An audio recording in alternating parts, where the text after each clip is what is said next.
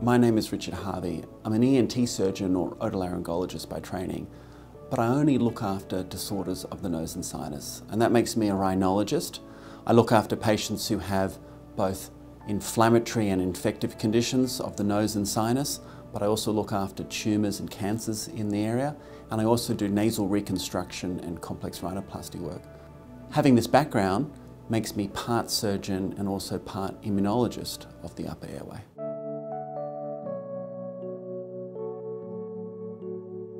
Watery eyes, for most people, is a drainage problem from the tears from the tear duct system.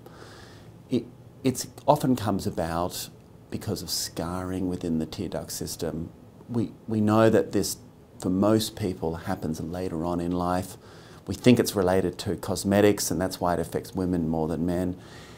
But for most people, it's simply just scarring within the tear duct system.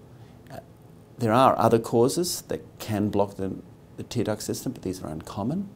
For many people who develop a watery eye, it's often happening to some degree on both sides. And, and, so for most people who develop it over time in their lifetime, they'll have one side affected and then eventually the other side often becomes affected as well. When it only affects one side, it's often a sign that another process other than simple scarring might be at play.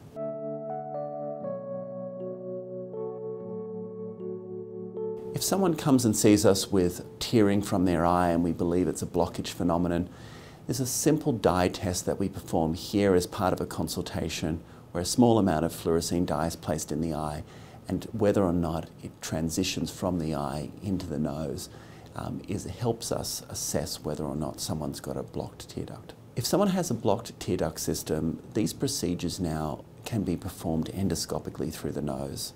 Traditionally, they were performed through operations through the facial skin with a small incision on the face, but for the majority of patients now, these can all be done with little endoscopic cameras through the nose.